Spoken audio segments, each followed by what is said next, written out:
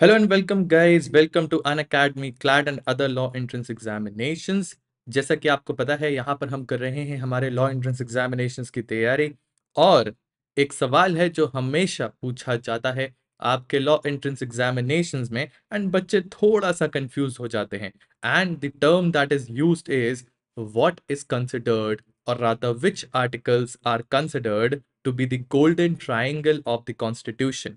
तो आखिर किसको हमारा संविधान का गोल्डन ट्रायंगल कहा जाता है? इस चीज़ को आज हम समझने वाले हैं बट आगे बढ़ने से पहले, अगर अभी तक आपने इस वीडियो को लाइक नहीं किया है then I would request you to please hit that like और साथ ही साथ अगर अभी तक आपने इस चैनल को सब्सक्राइब नहीं किया है तो जल्द से जल्द सब्सक्राइब कर लीजिए ताकि जितने भी वीडियोस यहाँ पर हमारे द्वारा आपके लिए क्रिएट किए जाते हैं, जितनी भी लाइव क्लासेस हमारे द्वारा आपके लिए ली जाती हैं, वो सभी की सभी क्लासेस को आप एकदम सही तरीके से बिना मिस आउट करे जो है अटेंड कर सकते हैं। जी हाँ चलिए तो सेशन की शुरुआत करते हैं। जैसा कि मैंने आपको बताया, एक क्वेश्चन है जो हर किसी व्यक्ति के मन में होता है और अलग अलग एग्जामिनेशंस में ऑलरेडी ये चीज़ जो है वो पूछी जा चुकी है। वो क्या है? कि sir what is considered to be the golden triangle of the constitution तो आपको बता देते हैं कि हमारे कॉन्स्टिट्यूशन का गोल्डन ट्रायंगल इन तीन आर्टिकल से मिलकर बनता है। या रादर ऐसा कहें कि इन तीन आर्टिकल्स को हम हमारे कॉन्स्टिट्यूशन का गोल्डन ट्रायंगल कहते हैं। एक आता है आपका आर्टिकल नंबर 14 दूसरा आता है आर्टिकल नंबर 19 और थर्ड जो आता है दैट इज़ आर्टिकल नंबर 21 जैसा कि आप सभी देख पा रहे होंगे एंड आई बिलीव कि आपको इतनी चीज़ें पता होंगी, नहीं पता है तो मैं बता देता हूँ दैट हमारे कॉन्स्टिट्यूशन का जो पार्ट थ्री है, ये part three of the constitution comprises of the fundamental rights fundamental rights वो राइट्स जो कि प्रोटेक्टेड हैं by the supreme court directly supreme court directly इनको जो है गारंटी करता है in case there is a violation of the fundamental right we can approach the supreme court under article 32 under the writ jurisdiction however अभी आपको बताते हैं कि हमारे टोटल कितने फंडामेंटल राइट्स होते हैं। So as of now we have six fundamental rights earlier the used to be seven but जैसा कि आपको याद होगा, हमने पढ़ा था लास्ट क्लास में कि जो राइट टू प्रॉपर्टी है हमारा, वो अब हमारा एक फंडामेंटल राइट right नहीं है, बल्कि एक लीगल राइट right है। जो कि राइट टू प्रॉपर्टी था, वो पहले फंडामेंटल राइट right हुआ करता था बट फिर उसको 1978 में हमने forty fourth constitutional amendment act की मदद से उसको हटा दिया है और अब वो हमारा लीगल राइट right बन गया है इन दी आर्टिकल नंबर 300 ए ऐसा इसलिए करना पड़ा क्योंकि इंफ्रास्ट्रक्चर प्रोजेक्ट्स बनाने के लिए रोड्स बनाने के लिए ब्रिजेस बनाने के लिए it was difficult to acquire these land as it was protected against the legislative as well as executive action both लेकिन अब जब हमने इसको जो है डाल दिया है आर्टिकल नंबर 300 ए के अंतर्गत so it is only protected against the executive action ठीक है? तो ये part three of the constitution जो है, ये फंडामेंटल राइट्स की बात करता है, जिसमें जो आपके फंडामेंटल राइट्स हैं आर्टिकल 12 से लेकर आर्टिकल नंबर 35 तक जाते हैं। एंड अगर हम बात करते हैं पहला कैटेगरी ऑफ़ फंडामेंटल राइट्स का so that is right to equality right to equality article 14 से 18 तक है।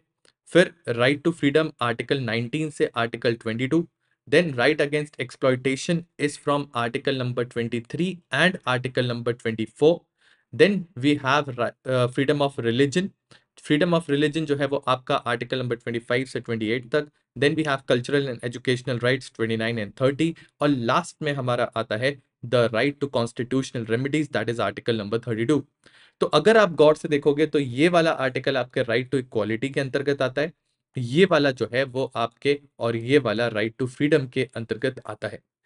अब जानने की कोशिश करेंगे कि आखिर ऐसा क्या है, जिसकी वजह से हम इन तीन राइट्स को कंसिडर करते हैं एज द गोल्डन ट्राइंगल क्यों कहा जाता है इसको गोल्डन ट्राइंगल इस चीज़ को जल्दी से समझ लेते हैं। सबसे पहले हम समझते हैं आर्टिकल नंबर 14 आर्टिकल नंबर 14 जो है, ये दो बातें करता है।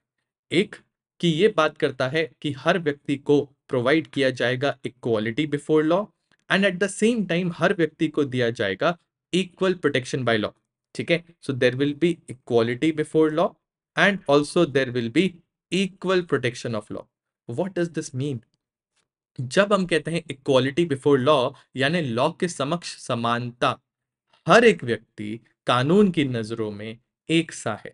फिर चाहे वो कोई भी व्यक्ति हो, अगर सलमान खान ने जो है किसी का मर्डर किया है, या आपने किसी का मर्डर किया है, या मैंने किसी का मर्डर किया है, हम सभी को कानून की नज़रों में एक सा कंसिडर किया जाएगा।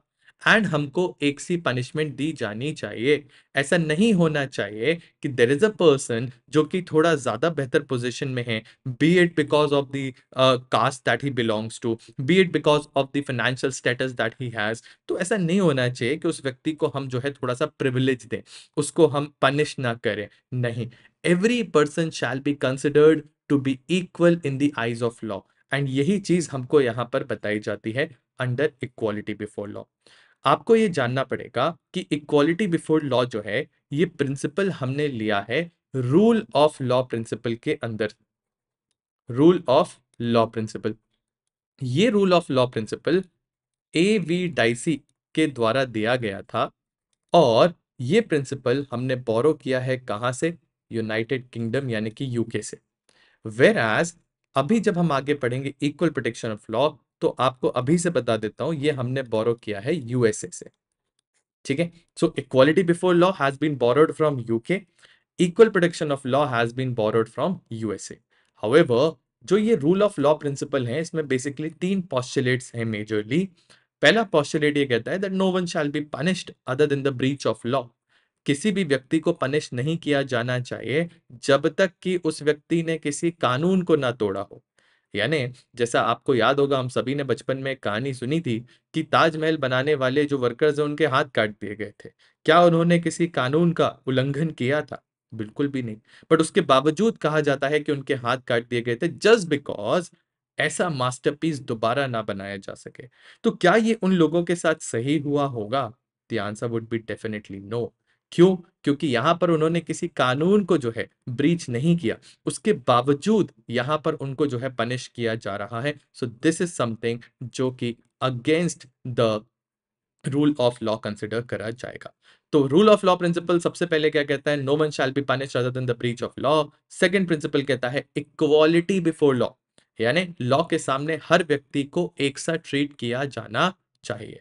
However, इसके अलावा एक थर्ड postulate भी है but it is not applicable or rather we have not incorporated it in our constitution so we do not talk about it. आप जब law school में जाएँगे definitely आपको उसके बारे में भी बताया जाएगा but as of now it is not required. ठीक है अब अगर सर आप कह रहे हो दैट इक्वालिटी बिफोर लॉ है, यानी हर व्यक्ति लॉ के सामने एक सा है तो क्या हम ये कंसिडर करेंगे कि हमारे देश के राष्ट्रपति, हमारे देश के अलग अलग स्टेट्स के गवर्नर्स ये भी लॉ के सामने सेम होंगे? So the answer would be no जो हमारे देश के प्रेसिडेंट होते हैं, या फिर हमारे अलग अलग स्टेट्स के गवर्नर्स होते हैं, इनको दिया जाता है प्रिविलेज किस प्रकार का? इस प्रकार का प्रिविलेज कि जब तक ये अपने ऑफ़िस में हैं, तब तक इनके खिलाफ किसी भी प्रकार का क्रिमिनल केस फ़ाइल नहीं किया जाएगा। कैसा केस फ़ाइल नहीं किया जाएगा? Criminal case no criminal case can be instituted against them however however क्या इनके खिलाफ सिविल केस फ़ाइल किया जा सकता है? बिल्कुल किया जा सकता है। प्रोवाइडेड प्रोवाइडेड आप उनको पहले दो महीनों का नोटिस देंगे। यानी A civil case can be filed, provided that you give them two months notice before filing the case. आपको पहले दो महीने का नोटिस देना पड़ेगा कि, सर, हम आपके खिलाफ एक सिविल केस जो है, वो फ़ाइल करने जा रहे हैं तो इस प्रकार से इनको प्रिविलेज दिया गया है इसी तरह जो हमारे यहाँ फॉरेन एम्बेसीज के लोग होते हैं एम्बेसडर्स होते हैं कॉन्सुलेट्स कॉन्सुलेटर्स होते हैं कॉन्सुलेट्स में, इन सभी को किसी भी प्रकार से जो है यहाँ पर इक्वल नहीं कंसिडर किया जाता बट रादर हम उनको एज अ प्रिविलेज यहाँ पर देते हैं और as an exception under article number fourteen consider करते हैं। ठीक है? I hope this is clear अब आते हैं आगे। Now we are talking about equal protection of law when we say equal protection of law इसका मतलब क्या होता है? इसका मतलब सिंपल शब्दों में यह है कि लॉ के द्वारा एक साथ संरक्षण दिया जाना। सपोज़ करिए कि देर इज़ अ गर्ल जो कि बिलोंग करती है एक लोअर इनकम फैमिली को। या आप ऐसा कंसिडर कर लो वो पुअर है। And there is another girl जो कि एक हायर इनकम फैमिली से है। अब, अगर इन दोनों के साथ इस दुनिया का सबसे घिनौना कृत्य किसी लड़के के द्वारा किया जाता है, यानी कि रेप किया जाता है तो क्या उस स्थिति में ऐसा होगा कि चूँकि ये एक लोअर इनकम फैमिली से हैं तो पुलिस जो है इनको बोलेगी कि आपका हम किसी भी प्रकार से संरक्षण नहीं देंगे, आपको जो है हमारे द्वारा किसी भी प्रकार का प्रोटेक्शन नहीं दिया जाएगा, हमारी लॉ एजेंसीज आपकी मदद नहीं करेगी। क्या ऐसा हो सकता है? बिल्कुल भी नहीं। चाहे आप एक लो इनकम से हो, चाहे आप एक हायर इनकम से हो, चाहे आप एक लोअर कास्ट से हो, चाहे आप अपर कास्ट से हो, चाहे आप वेमेन हो, चाहे आप कोई भी हो the only thing that is required is that आप अगर इंडिया में हैं तो फिर उस स्थिति में आपको लॉ एजेंसीज के द्वारा एक सा प्रोटेक्शन दिया जाएगा। ठीक है? So there will be no discrimination when providing protection to the people of the country and ये चीज़ हमको दी गई है आर्टिकल नंबर 14 के अंतर्गत जब हम बात करते हैं इक्वल प्रोटेक्शन ऑफ़ लॉ की। तो आप देख सकते हैं कि ये जो पर्टिकुलर कानून है या ये जो पर्टिकुलर प्रोविज़न है, ये कितना ज़्यादा इंपॉर्टेंट है when we talk about providing equality और treating equally in the country ठीक है? चलिए अब बढ़ते हैं आगे। And now we are talking about article number 19 article number 19 जैसा कि मैंने आपको बताया, ये राइट टू फ्रीडम के अंतर्गत आता है। और 19 के अंतर्गत आपको और हमको सिक्स राइट्स दिए गए। छह अधिकार। कौन कौन से? Right to freedom of speech and expression यानी आपके पास अभिव्यक्ति का अधिकार है। आप जो चाहे वो बोल सकते हैं। आप जब चाहे बोल सकते हैं। बट क्या ये सत्य है? भारत तेरे टुकड़े होंगे, हमको चाहिए आज़ादी आज़ादी। अगर कोई व्यक्ति ऐसा बोल रहा है तो क्या हम उसको ये क्लेम करने देंगे कि आपका freedom of speech and expression है so you can say anything और everything that you want to definitely not because आपको पता होना चाहिए कि हमारे जो फंडामेंटल राइट्स हैं, वो एब्सोल्यूट नहीं है। वेन वी से एब्सोल्यूट नहीं है, कहने का तात्पर्य कि अगर हमने कह दिया कि आपके पास freedom of speech and expression है दैट डज नॉट मीन कि आपके पास इस प्रकार का अधिकार है कि आप कुछ भी बोल सकते हैं। बट रादर आपको रीजनेबल रिस्ट्रिक्शंस के अंतर्गत रहते हुए कार्य करना पड़ेगा। आपके इस freedom of speech of expression पे रीजनेबल रिस्ट्रिक्शंस गवर्नमेंट के द्वारा लगाए जा सकते हैं। कौन से हैं वो, अभी हम समझेंगे बट आते हैं आगे। Second is to assemble peacefully without arms what do we mean by that sir इसका मतलब ये हुआ कि आप बहुत सारे लोग एक जगह एकत्रित हो सकते हैं बट ये कैसे होना चाहिए? शांतिपूर्वक। ये कैसे होना चाहिए? Without arms what do mean by arms arms मतलब ये आपके हाथों की बात नहीं हो रही है। आर्म्स मतलब यहाँ पर आर्म्स एंड एमिनेशंस यानी यहाँ पर बात हो रही है वेपन्स की, ठीक है? आप किसी भी प्रकार से गन वगैरह वगैरह, लाठीज ये सब लेकर इकट्ठे नहीं हो सकते हैं, ठीक है? थर्ड है टू फॉर्म एन एसोसिएशन और यूनियन जब हम बात करते हैं फॉर्मिंग एन एसोसिएशन तो आपने देखा होगा डॉक्टर्स का एसोसिएशन होता है लॉयर्स का एसोसिएशन होता है इंजीनियर्स का एसोसिएशन होता है मेडिकल रिप्रेजेंटेटिव्स का एसोसिएशन होता है। तो इस प्रकार से हर एक पर्टिकुलर प्रोफेशन या ग्रुप या फिर अलग अलग सोसाइटल जो डिविजन है, वो अपने खुद के एक एसोसिएशन फॉर्म कर लेते हैं। तो क्या ये एसोसिएशन फॉर्म करने का अधिकार है उनके पास? बिल्कुल है जी। अगर वो चाहें तो वो इस एसोसिएशन को बना सकते हैं और लोग उससे जुड़ सकते हैं। हाउएवर हाउएवर ये जो अधिकार है, ये पॉजिटिव तो है। पॉजिटिव मतलब जो कि कहता है कि हाँ आप अपना एक एसोसिएशन फॉर्म कर सकते हैं। बट इसके साथ साथ ये जो अधिकार है, ये नेगेटिव भी है। वेन वी से नेगेटिव भी है तो इसका मतलब क्या हुआ? इसका मतलब ये हुआ कि हर एक व्यक्ति के पास अधिकार है कि वो किसी भी एसोसिएशन को फॉर्म करके उससे जुड़ना चाहे तो जुड़ तो सकता है, बट साथ ही साथ उसके पास ये भी अधिकार है कि वो अगर चाहे तो किसी एसोसिएशन से नहीं जुड़ सकता। कहने का तात्पर्य, सपोज़ करिए आई एम अ डॉक्टर और rather I am a lawyer which I am तो अगर ऐसा एक रूल आता है कि हर एक लॉयर को इस एसोसिएशन को ज्वाइन करना पड़ेगा and I don't want to join it so do I have the fundamental right of not joining that definitely I have because यहाँ पर जो राइट टू फॉर्म एसोसिएशन है, वो पॉजिटिव भी है and at the same time ये एक negative right right भी है. यानी to form and join and at the same time not to join ये दोनों ही अधिकार मेरे पास है. इसके अलावा next one is to move freely throughout the territory of India आपके पास ये अधिकार है, आप हिंदुस्तान में कहीं भी जाकर घूम सकते हैं. बट अगेन अगर गवर्नमेंट को लगता है कि जनरल पब्लिक के इंटरेस्ट में इट इज़ नॉट गुड कि आप कहीं भी जाकर घूमें। फॉर एग्ज़ाम्पल सपोज़ करिए कि देर इज़ अ प्रोस्टिट्यूट जो कि फ्लैश ट्रेड करती हैं एंड खुदा ना खास्ता उनको एचआईवी अगर हो जाता है तो उनके मूवमेंट को जो है सरकार जो है यहाँ पर रेस्ट्रिक्ट कर सकती है। क्यों? क्योंकि अगर वो जहाँ भी मूव होंगी इट इज़ क्वाइट पॉसिबल कि आज नहीं तो कल वो दोबारा से क्या कर सकती हैं? वो फ्लैश ट्रेड में आ सकती हैं, चूँकि वो ऑलरेडी उसमें थी। एंड अगर उनके द्वारा इस प्रकार से फ्लैश ट्रेड में दोबारा आया जाता है तो एचआईवी फैलने के चांसेस हैं हमारे देश में। So in the interest of the general public और उनकी हेल्थ को मद्देनजर रखते हुए, यहाँ पर इस चीज़ को रेस्ट्रिक्ट किया जा सकता है। एट द सेम टाइम आपने सुना होगा शेड्यूल्ड ट्राइबल एरियाज़ होते हैं। जहाँ पर हमारी शेड्यूल ट्राइब्स रहती हैं, ये वो ट्राइब्स हैं जिनका असिमिलेशन हमारे साथ अभी तक नहीं हुआ है। या रादर ऐसे कहें कि वो आज भी नेचुरल तरीके से जीती हैं, हमारी तरह कंक्रीट के जंगलों में नहीं जीती हैं। हमारी तरह एक सूडो लाइफ बनाकर नहीं जी रहे हैं राइट लेकिन अब क्या होता है कि चूँकि हमारे यहाँ पर हमने मेडिकल एडवांसमेंट्स किए and when we say medical advancements तो उसमें हमने बहुत सारी वैक्सीन्स बनाई हैं, हमने बहुत सारी जो है मेडिसिन बनाई हैं। अब जब वैक्सीन्स हम लेते हैं तो एट टाइम्स क्या होता है, हम कुछ वायरसेस अपनी बॉडी के अंदर इंजेक्ट करते हैं। अब सपोज़ करिए वो वायरस हमारी बॉडी के अंदर गए हैं, हम तो उससे इम्यून है बट अगर हम एक ट्राइबल एरिया में जाते हैं और वहाँ पर वो वायरस से ये ट्राइब्स एक्सपोज हो जाते हैं और उसके बाद डेफिनेटली उनके पास तो इस चीज़ की कोई वैक्सीन नहीं है। उनके पास इससे डील करने के लिए पैरासिटामॉल नहीं है। उनके पास इस चीज़ से डील करने के लिए एंटी एंटी बायोटिक्स नहीं है। अब चूँकि ये सब चीज़ें नहीं होंगी तो उनकी लाइफ को थ्रेट हो सकता है। इसीलिए आपका और हमारा movement into the scheduled area जो है, उसको भी यहाँ पर कर्ब किया जा सकता है।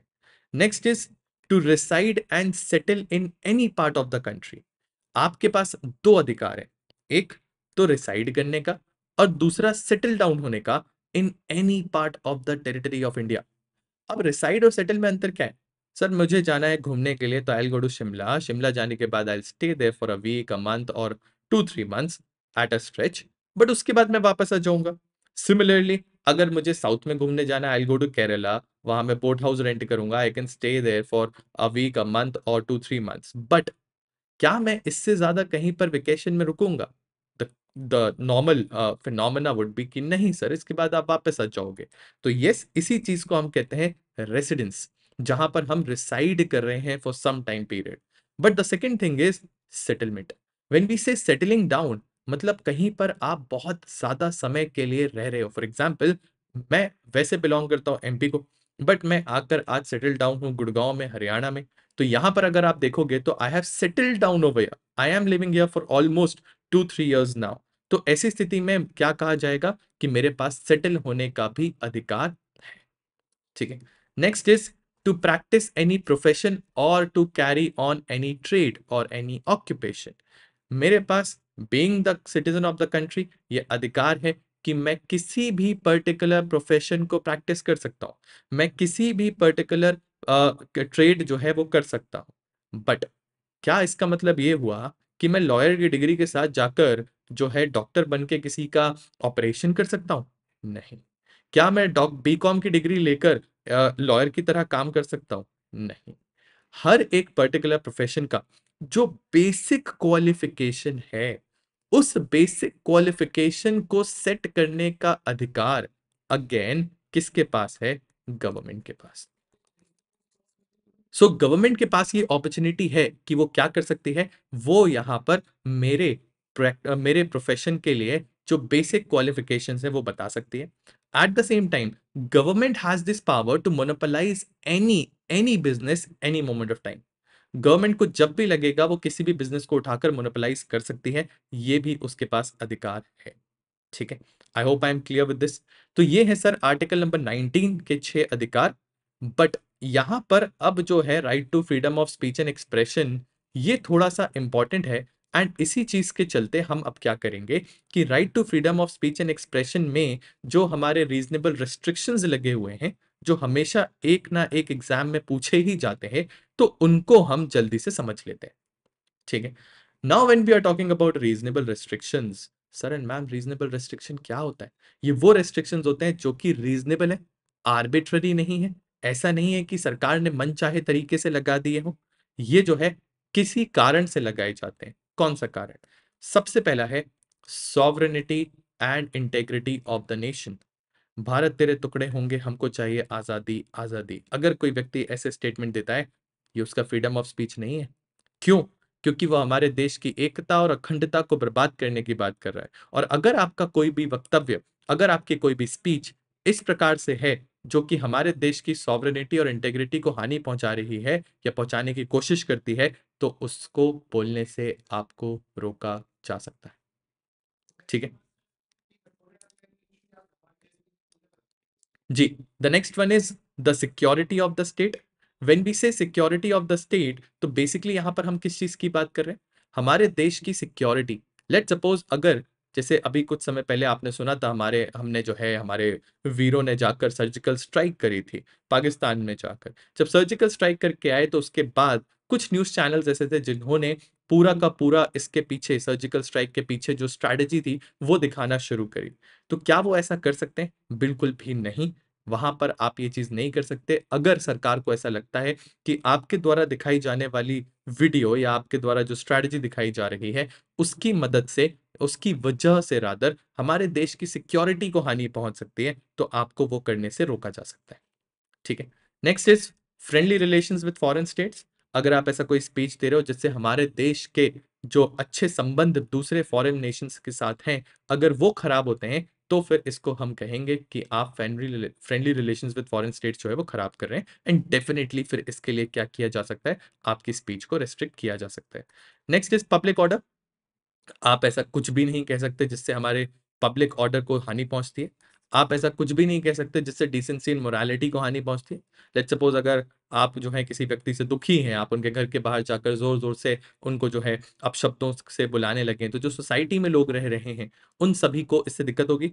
आप ये नहीं कह सकते उस समय कि ये मेरा freedom of speech and expression है या आ, ये मेरा जो है अधिकार है। क्यों? क्योंकि अगेन आपको पता होना चाहिए this is against the decency this is against the morality ठीक है? Next in relation to the of court आप ऐसा कुछ नहीं कह सकते जो हमारे कोर्ट्स की, हमारे माननीय न्यायालयों की उलाहना करता है। देन वी हैव डेफेमेशन यानी कि मानहानि, आप ऐसा कुछ नहीं कह सकते जो कि सत्य नहीं है और जिसकी वजह से किसी सामने वाले व्यक्ति की इमेज जो है वो लोअर डाउन हो रही है। Then we have incitement to an offence आप ऐसा कुछ नहीं कहेंगे जिससे कि सामने वाला व्यक्ति इंसाइट हो जाए किसी एक पर्टिकुलर ऑफेंस को करने के लिए, कोई एक क्रिमिनल एक्ट करने के लिए। फॉर एग्ज़ाम्पल अगर मैं क्लासरूम में आता हूँ, मैं देखता हूँ दो बच्चों के बीच लड़ाई हुई थी, अब दोनों जो है एक दूसरे से मुँह फुलाकर बैठे मैंने बोला, क्या हुआ? बोले, सर, हमारे बीच लड़ाई हो गई थी। तो मैंने बोला, कमाल गिरते हो यार। मैं आपकी जगह होता, मैं तो सामने वाले का सर फोड़ चुका होता, मैं तो बेंच उठाता और उसको मारता। अगर मैं ये सब चीज़ें कह रहा हूँ तो मैं क्या कर रहा हूँ? सर, मैं सामने वाले व्यक्ति को इंसाइट कर रहा हूँ किसी प्रकार का एक ऑफेंस करने के लिए। तो क्या ये मेरा freedom of speech and expression होगा? डेफिनेटली नॉट ठीक है? I hope I am clear with this तो अगर आप ध्यान से देखें तो यहाँ पर हमने आर्टिकल नंबर 19 के साथ साथ उस पर लगने वाले रीजनेबल रेस्ट्रिक्शंस जो हैं उनके बारे में भी पढ़ा। अब हम आते हैं आगे that is article number twenty one article number twenty one इसको फेमसली हम राइट टू लाइफ के नाम से जानते हैं। क्या कहता है ये? आर्टिकल नंबर ट्वेंटी वन ये कहता है that no person shall be deprived of his life and personal liberty except according to the procedure establish by law किसी भी व्यक्ति को उसकी लाइफ और पर्सनल लिबर्टी जो है उसकी, उससे डिप्राइव नहीं किया जाएगा। उससे ये चीज़ छीनी नहीं जाएगी, उसकी ज़िंदगी नहीं छीनी जाएगी, उसकी आज़ादी नहीं छीनी जाएगी। बट ऐसा किया जा सकता है कब? अगर देर इज़ अ प्रोसीजर जो कि कानून के द्वारा स्टैब्लिश्ड है। देर इज़ अ प्रोसीजर जो कि कानून के द्वारा स्टैब्लिश्ड है मतलब क्या? वी विल चेक कि क्या किसी कानून के अंतर्गत ये प्रक्रिया लिखी थी कि ऐसा किया जाना चाहिए, इस व्यक्ति की आज़ादी छीन ली जानी चाहिए। अगर हाँ if there is a procedure तब तो छीनी जा सकती है। तो सर, ये तो बहुत ही नैरो प्रोसेस हुआ ना। क्यों? क्योंकि देखो, आप ध्यान से, कल को जब भी मेजोरिटी में कोई एक सरकार होती है, वो तो कोई भी कानून पास करवा सकती है आसानी से। सपोज़ करिए कि कोई एक कानून जो है, वो हमारे पार्लियामेंट ने पास कर दिया एंड उसके तहत आपकी और हमारी पर्सनल लिबर्टी को हमसे छीना जा रहा है, आपकी और हमारी जो लाइफ है, उसको हमसे छीना जा रहा है तो वो तो वो कर पाएँगे। क्यों? क्योंकि वो बोलेंगे कि देर इज़ अ प्रोसीजर जो कि कानून के तहत स्टैब्लिश है। हमने वो सारी चीज़ें करी, जैसे कि लोकसभा में और राज्यसभा में इंट्रोड्यूस करना, फिर दूसरे हाउस में पहुंचाना और फिर उसके बाद जो है प्रेसिडेंट का असेंट लेना। हमने ये सब किया। एंड चूँकि हमने ये सब किया है तो हमारे पास तो अधिकार है कि हम आपके इस राइट को जो है आपसे छीन सकते हैं। तो सर, क्या ये चीज़ वैलिड होनी चाहिए?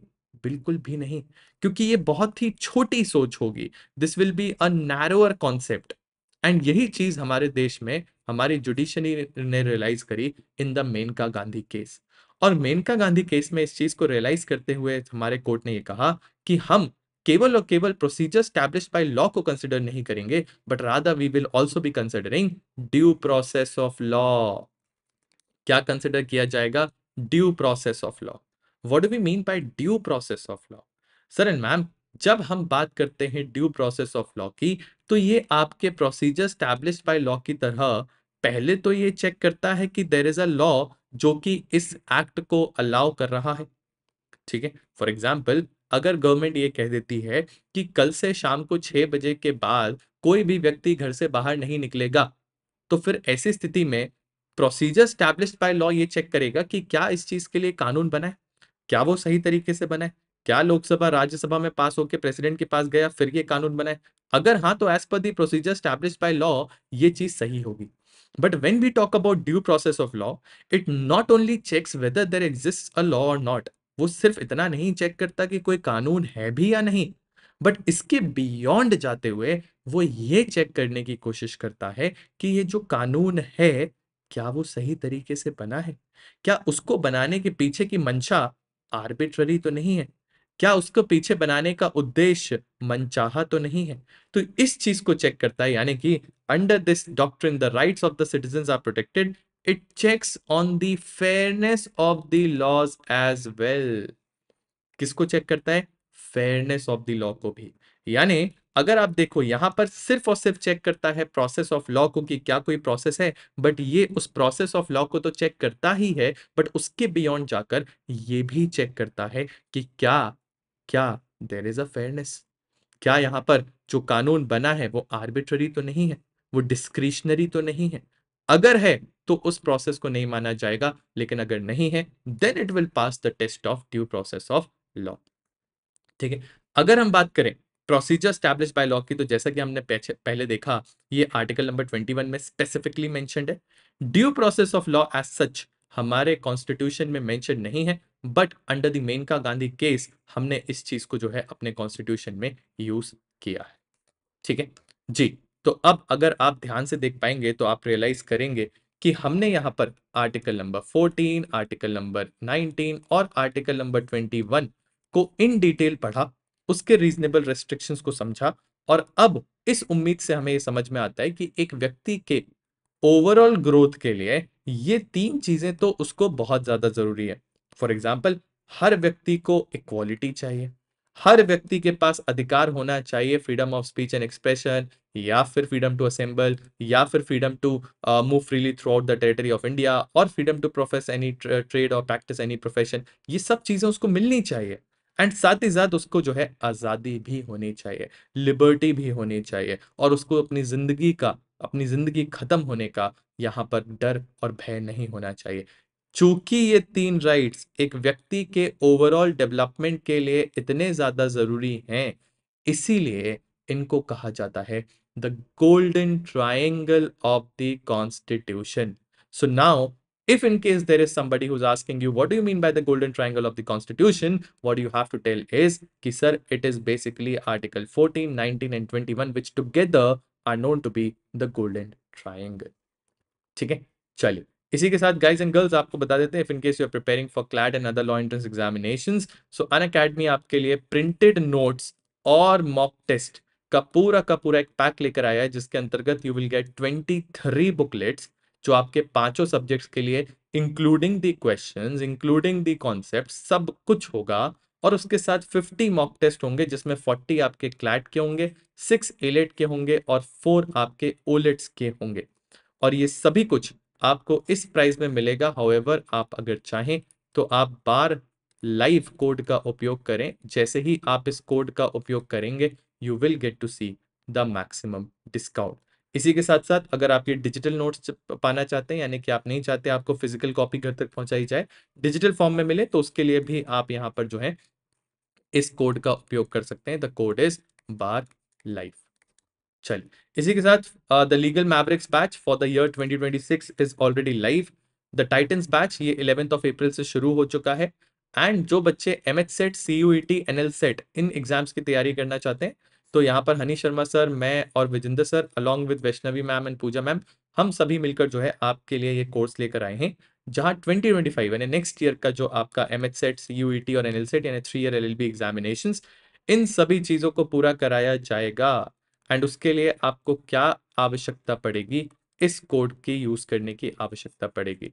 जैसे ही आप इस कोड का उपयोग करेंगे you will get to see the maximum discount with this I am signing off thank you so very much for your valuable time keep studying keep grilling जय हिंद जय भारत